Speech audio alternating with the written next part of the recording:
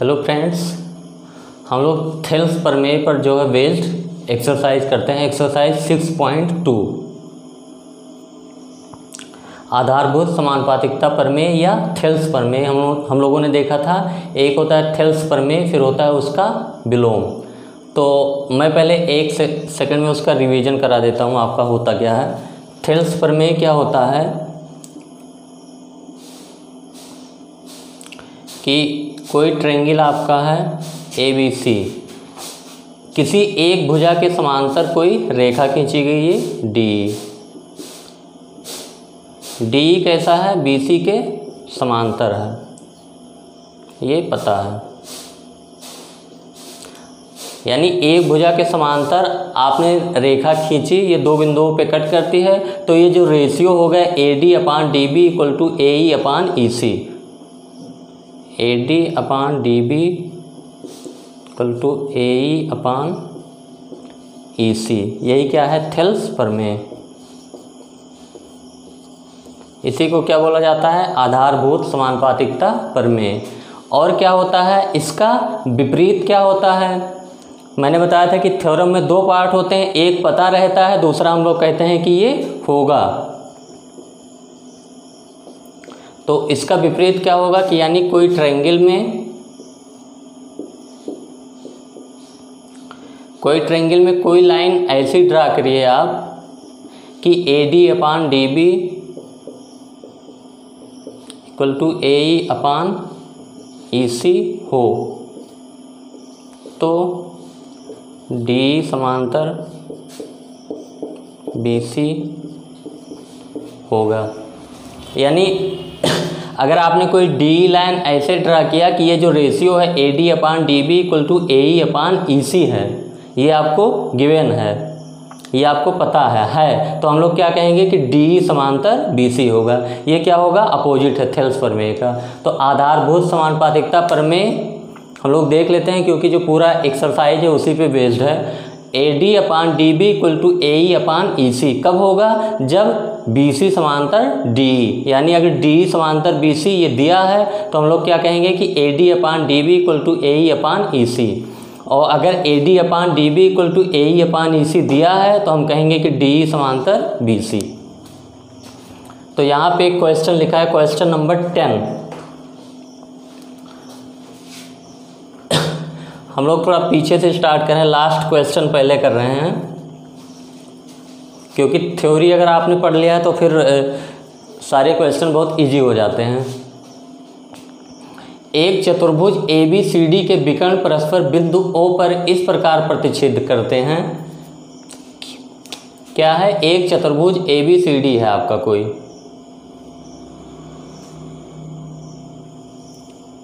कोई चतुर्भुज आपका ए बी डी है। के विकर्ण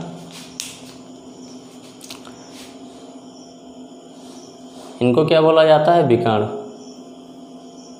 ये विकर्ण क्या कर रहा है? परस्पर बिंदु ओ पर इस प्रकार प्रतिच्छेद करते हैं कि A O upon B O equal to C O upon D O यानी अब हम लोग जब इसका सलूशन स्टार्ट करेंगे तो क्या करेंगे पहले?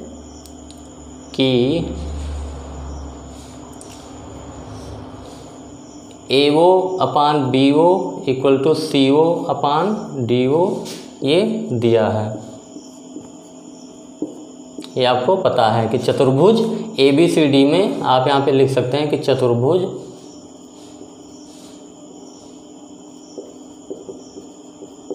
ए बी सी डी में चतुर्भुज ए बी सी डी में A O upon B O equal to C O upon D O ये आपका गिवन है। अब क्या करना है? सिद्ध करना है कि ए बी सी डी एक समलंब है।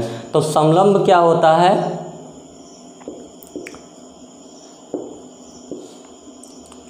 समलंब होता है कि आमने सामने की भुजा का एक युग मगर समांतर है चतुर्भुज का तो उसको क्या बोलते हैं? समलंब।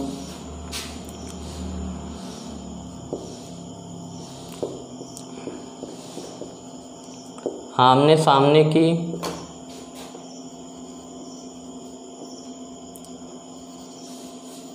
कि भुजा का एक युग्म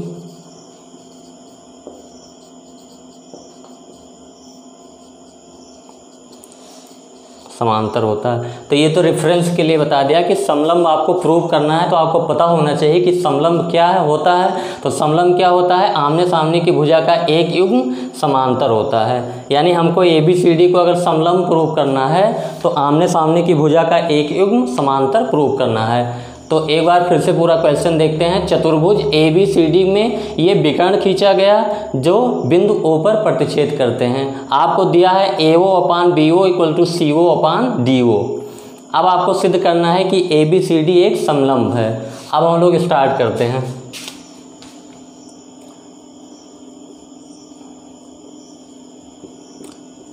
सिद्ध करना है ए बी सी डी एक समलम्ब है।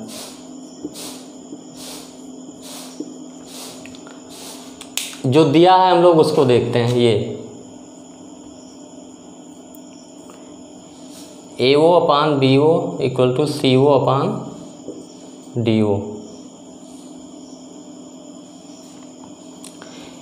A O upon B O अगर ए ओ अपान सी ओ होता तो अपने कुछ काम का होता, क्योंकि हम लोग जब रेशियो या थेल्स पर में लगाते हैं तो वो रेशियो आता है अलग अलग ट्रेंगल का रेशियो थोड़ी आता है तो इसको क्या कर लेते हैं साइड चेंज कर लेते हैं।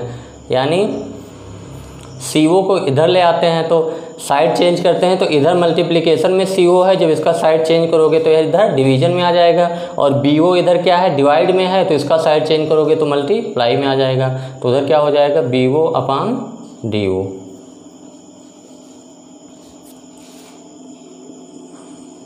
ये हम लोग कर लिए। अब क्या करते हैं, थोड़ा आगे बढ़ने के लिए आपको एक कंस्ट्रक्शन करना पड़ेगा हल्का सा।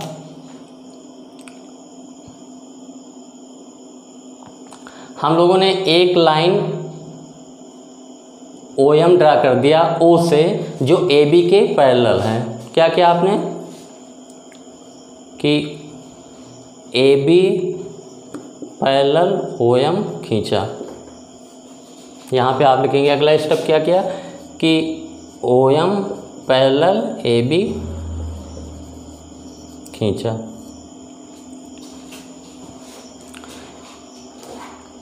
क्योंकि आप ट्रेंगल बनाएँगे, ये ओ बी और डी ओ इस ट्रेंगल में, इस ट्रेंगल में अगर लगे तो ये क्या होगा? अगर ये समांतर ए बी के खींच दिया यहाँ पे तो ये फ़ायदा होगा कि हम ट्रेंगल डी बी ए में क्या कह सकते हैं? कि D O upon O B equal to D M upon A M तो हम लोग अब लगाते हैं triangle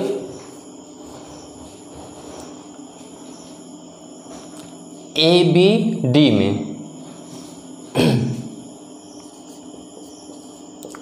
triangle A B D में। ये आपका ए बी डी ट्रेंगल मैं यहाँ पे फिर से बना देता हूँ। ये ए है, ये बी है, ये डी है। और आपका क्या है? इस पर कहीं पे ओ है और ये एम है। तो क्या है? O M parallel A B यानी कि एक भुजा के समांतर रेखा खींची है तो ये दोनों भुजाओं को क्या करेगी? समान अनुपात में विभाजित करेगी। थेल्स पर में से हम लोग यहाँ पे क्या लिख सकते हैं? कि D O upon O B equal to D M upon M A D O upon O B equal to D M upon M A ये कहाँ से निकला? परमेश सिक्स पॉइंट वन से।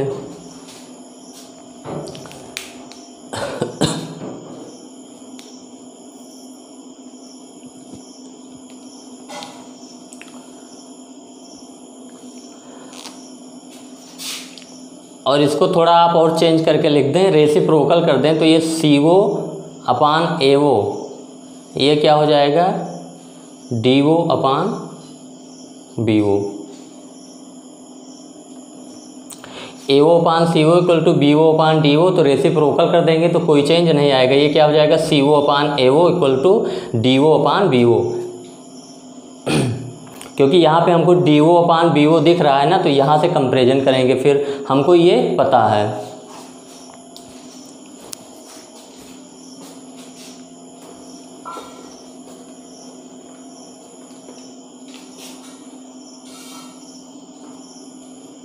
इसको इक्वेशन नंबर वन ले लेते हैं और इसको equation number two equation one और इक्वेशन दो से। क्या करते हैं हम लोग? D O upon B O ये D O upon O B या बी ओ बात एक ही है। आप डी ओ पढ़ो या ओ डी पढ़ो। ये लेंथ है। ए बी पढ़ो आप या बी ए पढ़ो। यहाँ से क्या करते हैं? डी ओ अपान बी ओ की वैल्यू ये दोनों इक्वल कर देते हैं। तो हमारा क्या आ गया? कि ये D M upon M A ये वैल्यू है D O upon O B की। और इधर क्या है? D O upon O B की वैल्यू ये सी ओ अपान ए ओ है। तो ये दोनों इक्वल हो जाएँगे। D M upon M A equal to C O upon A O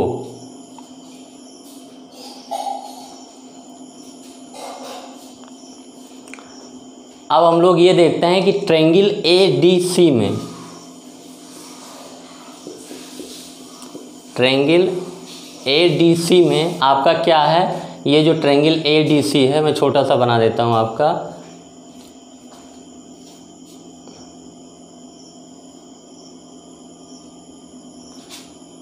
ये आपका ए है, ये डी है, ये सी है।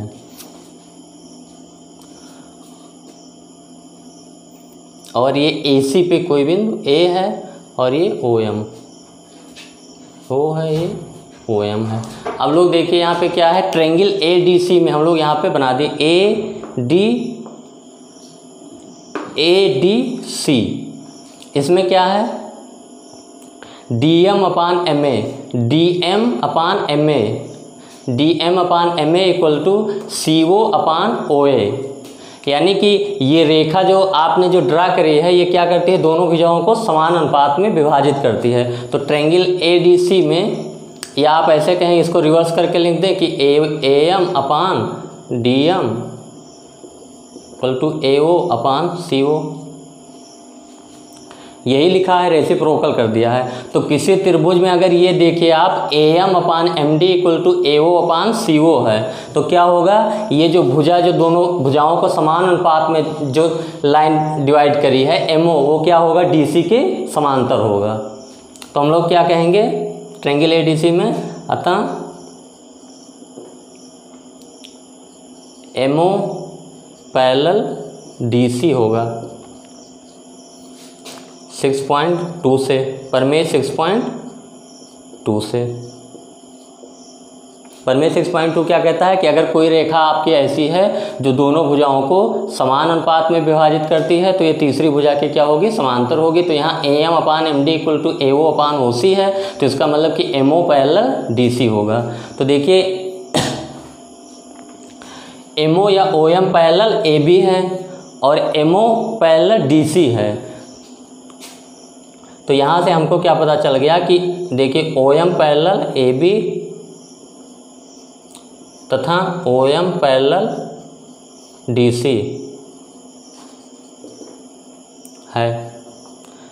तो ओ एम ए बी के पैरल है और ओ एम ही डी सी के पैरेलल है तो ए बी और डी सी भी पैरेलल होंगे। इसको कैसा बोलते हैं कि एक ही रेखा के समांतर रेखाएँ आपस में समांतर होती हैं। तो यहाँ से हमको क्या मिलेगा? ए बी समांतर डी सी होगा। ए बी समांतर डी सी होगा, हम लोग ये प्रूव कर लेंगे। अब ए बी समांतर डी सी होगा तो चतुर्भुज का समलंब होने की कंडीशन हमारी पूरी हो गई। ए बी समांतर डी सी अतः ए बी सी डी एक समलंब है।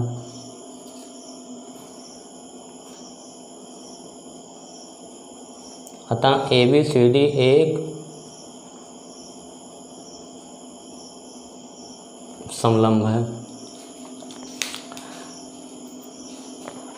तो हम लोग फिर से एक बार देख लेते हैं पूरा। बेसिक प्रोपोर्शनलिटी थ्योरम थेल्स पर में क्या कहता है कि अगर आपने किसी भुजा के समांतर कोई रेखा खींचा और ये दोनों भुजाओं को कट करती है और ये ratio A M upon M D equal to A O upon O C है तो क्या होगा ये एम ओ समांतर डी सी होगा। या अगर ये रेशियो बराबर है A M upon M D equal to A O upon O C है तो ये एम ओ समांतर डी सी होगा। तो हमको ए बी सी डी एक चतुर्भुज दिया था और जिसके विकर्ण क्या? ओ पे प्रतिच्छेद करते थे। A O upon B O equal to C O upon D O आपका दिया था। तो हम लोगों ने क्या किया? कंस्ट्रक्शन किया। ओ से ओ एम एक लाइन खींची जो किसके पैरेलल है? ए बी के पैरेलल हमने खींचा। कोई लाइन तो होगी ना इस ओ से जाने वाली, जो ए बी के पैरेलल होगी, हमने वही लाइन खींचा। उसके बाद फिर क्या किया? इस ट्रेंगल में O M parallel A B है। तो हम लोग क्या कहेंगे कि D O upon O B equal to D M upon M A ये। और फिर जो गिवन था, उसको हमने थोड़ा सा चेंज करके लिखा। और पहले इक्वेशन और दूसरे इक्वेशन से क्या किया? D M upon D O upon O B की वैल्यू इक्वल कर दी। तो ये दोनों आपस में इक्वल हो गए। तो किसी भी ट्रेंगल में अगर ये रेशियो देखिए A M upon M D equal to A O upon O C है तो क्या होगा? ये M O parallel D C होगा। यानी जो ये एम ओ है, ये डी सी के भी पैरल होगा। M O O A B के पैरेलल है और एम ओ डी सी के भी पैरेलल है, यानी ए बी और डी सी भी आपस में पैरेलल होंगे।